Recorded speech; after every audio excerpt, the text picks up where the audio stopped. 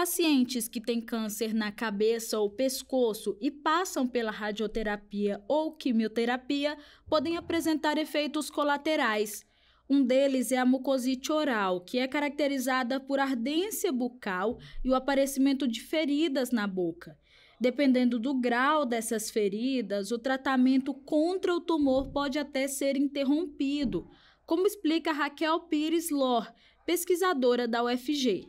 Essa inflamação ela pode ser de um grau 1, no qual o paciente só sente um incômodo mesmo local, ou ela pode progredir até para um grau 4, onde o paciente fica impossibilitado até mesmo de, de se alimentar e de tomar água, por exemplo. Então, isso compromete né, a saúde do paciente em geral, debilita o paciente e, infelizmente, quando chega nesse passo, interrompe-se o tratamento. Quando interrompe o tratamento de radioquimioterapia, também compromete o prognóstico do paciente. Durante uma consulta, um procedimento no dentista, por meio dos sintomas, é possível descobrir o câncer de cabeça ou pescoço. Durante o tratamento da doença, é aqui também que é tratado o efeito colateral da radioterapia ou quimioterapia. A pesquisa desenvolvida na UFG com parceria com o Hospital do Câncer Araújo Jorge busca uma nova alternativa no tratamento desses efeitos colaterais. A pesquisa, que utiliza medicamento à base de canabidiol para tratar a mucosite oral, está em andamento. Os participantes são acompanhados semanalmente pela equipe. Para garantir resultados mais precisos, eles foram divididos em três grupos.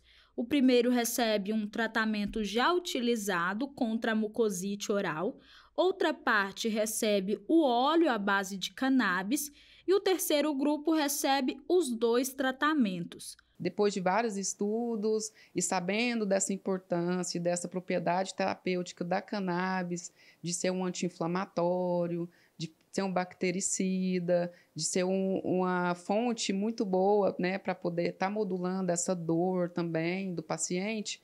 Então, nós resolvemos estar tá unindo isso em prol da qualidade de vida dos pacientes. No Brasil, o uso da cannabis para fins medicinais é permitido, a Anvisa, a Agência Nacional de Vigilância Sanitária, regula os produtos que são vendidos em farmácias e drogarias a partir da prescrição médica, com apresentação de receita. Já para realizar uma pesquisa científica com componentes da cannabis, é preciso passar por um comitê de ética. Como explica Elismauro Mendonça, professor da Faculdade de Odontologia e orientador da pesquisa. Primeiro, que nenhum projeto de pesquisa é iniciado sem ter passado por um comitê de ética em pesquisa, é, utilizando seres humanos na pesquisa. Então, esse projeto nosso, especificamente, ele primeiro teve aprovação pelo Comitê de Ética, é um ensaio clínico randomizado, controlado, então ele também foi registrado na base de dados no REBEC, que é o Registro Brasileiro de Ensaios Clínicos. Outra questão é a origem desse produto à base de canabidiol. Eles têm que estar regulamentado pela Anvisa para ser disponibilizado pelo paciente.